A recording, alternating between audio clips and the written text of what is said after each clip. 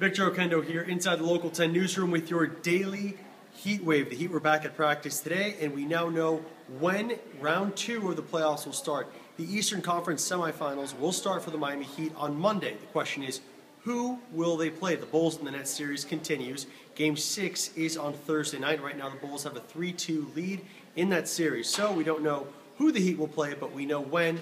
And again, that is on Monday. That is when round two will start for the Heat.